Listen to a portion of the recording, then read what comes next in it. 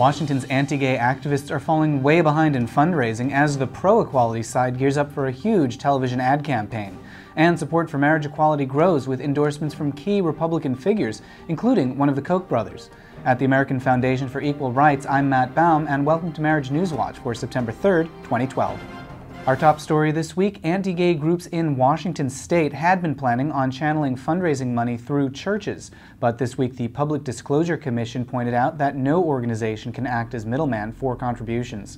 Instead, contributors will need to donate the money directly to the campaign themselves.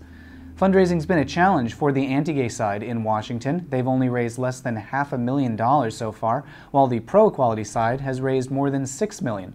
Of that, at least 5 million has been dedicated to TV ads, which are expected to start sometime this month. Maryland also faces a referendum this November, and the Freedom to Marry has picked up an important endorsement. Chip DiPaula, the Republican chief of staff for former Governor Robert Ehrlich.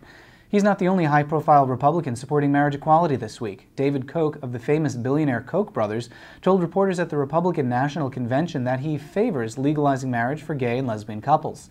He added that although he's raised millions for Mitt Romney's campaign, he disagrees with the candidate on marriage.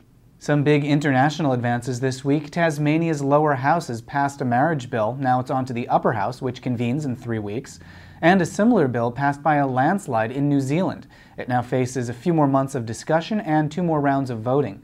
A June survey shows that 63% of Kiwis support the freedom to marry, with 31% opposed. A new survey in Chile shows support for marriage growing at 55% to 41% opposed. Civil union and marriage bills are pending in the country, but no immediate action is planned. And we're just a few weeks away from some major Supreme Court news on the fight to overturn Prop 8. Visit AFER.org to sign up for breaking news alerts. At the American Foundation for Equal Rights, I'm Matt Baum. We'll see you next week.